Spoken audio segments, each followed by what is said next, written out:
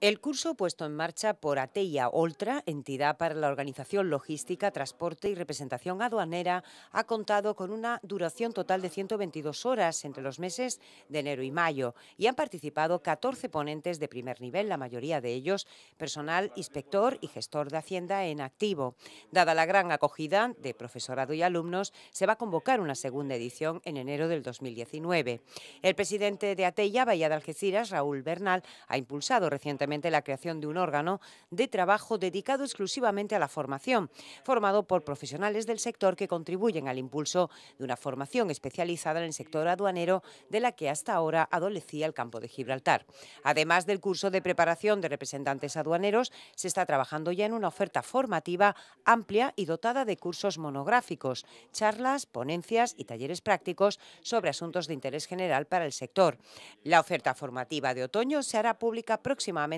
concretando fechas, plazas disponibles y fórmulas de inscripción.